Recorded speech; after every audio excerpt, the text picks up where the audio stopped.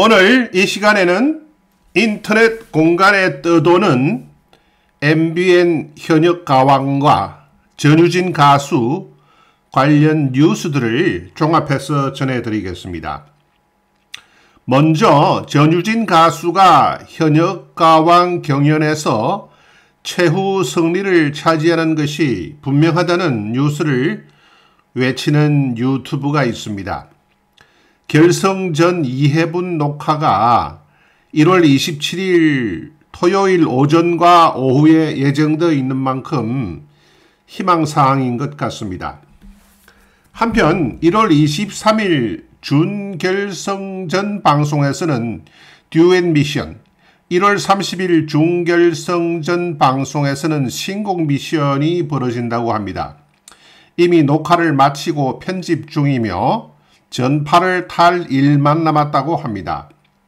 전유진 가수가 듀엣 미션에, 미션에 서 선전을 펼칠 뿐만 아니라 신곡 미션에서는 무대를 찢어 놓는다고 하니 열혈 팬들께서는 본방을 사수해야 할 것 같습니다. 결과적으로 전유진 가수는 준결승전에서 당당히 원톱 자리에 올라 결승에 진출하게 된다고 합니다.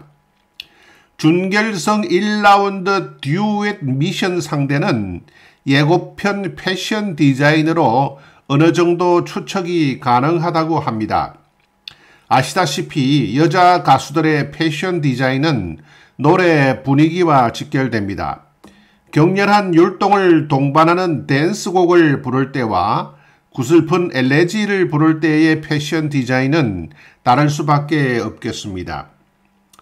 전유진 가수는 화이트 패션으로 검정색이 일부 콘트라스트 콤비네이션으로 가미된 복장입니다. 비슷한 패션 디자인을 걸친 가수들은 박혜신, 조정민, 마리아입니다. 김다현 가수는 속살이 비치는 반투명 텍스처의 경쾌한 패션 디자인입니다.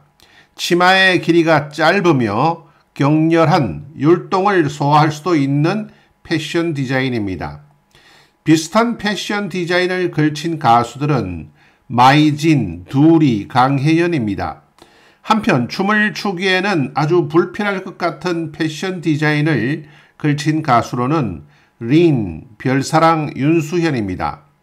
류원정 가수와 김양 가수는 실크로 칭칭 감은 것 같은 패션 디자인인데 흑백 대비까지 갖추고 있어서 두 가수의 대결이 예상된다고 합니다.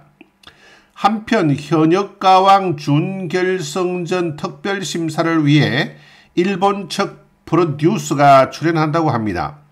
MBN은 지난 1월 19일 금요일 제작사 크리아 스튜디오 서혜진 대표와 Trot Girls in Japan 마스터인 프로듀스 마치타, 마츠시다 시게루가 각각 현해탄을 건너서 크로스 심사를 펼치는 모습을 스틸 사진으로 공개했습니다.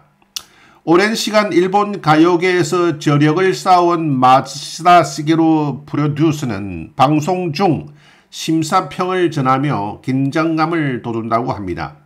한국 가수들의 트로트에 대한 열정과 자부심, 글로벌한 무대 연출과 이를 뒷받침하는 탄탄한 실력, 치솟는 에너지 등의 연신 놀랍다는 반응을 보인다고 합니다. 일본 가수가 노래하는 모습을 담은 유튜브도 있습니다.